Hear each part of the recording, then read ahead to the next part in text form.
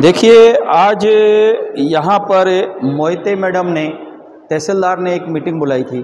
अभी हाल ही में जो खासदार के चुनाव हुए, जिसमें काफ़ी लोगों को तकलीफ़ हुई।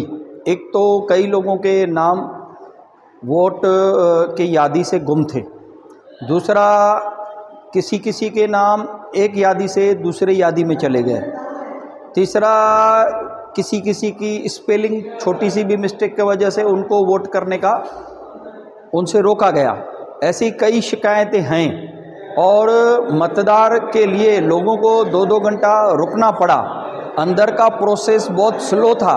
ये सभी जो शिकायतें हमने ऊपर भेजी हैं इलेक्शन कमीशन में तो तहसीलदार मैडम ने अभी उन सभी चीज़ों का आड़ावा लिया।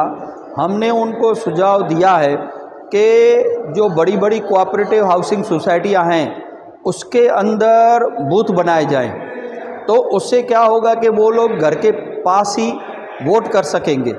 दूसरा, जिन लोगों के नाम बिगर किसी रीज़न के कट गए तो उनको छः नंबर फॉर्म फिर से भरना होगा, और जिन लोगों के नाम एक जगह से दूसरे जगह चले गए हैं तो उनको आठ नंबर का फॉर्म कट गया।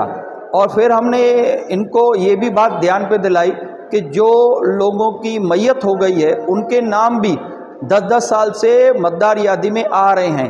तो इन्होंने, इनको हमने एक सजेशन दिया कि उल्लासनगर महानगर पालिका से पिछले पाँच साल का रिकॉर्ड मंगा के, वो वेरीफाई करके जो लोग मैयत हो गए हैं, उनको, उनका नाम मतदार यादी से कट किया जाए और जो लोग शिफ्ट हो गए हैं तो उनको भी नोटिस दे के उनका भी नाम जहाँ उनको चाहिए, वो वहाँ डालना चाहिए, जिससे प्रॉपर तरीके से वोटिंग हो और वोटिंग के समय पे मतदारों को वोटरों को तकलीफ़ ना हो।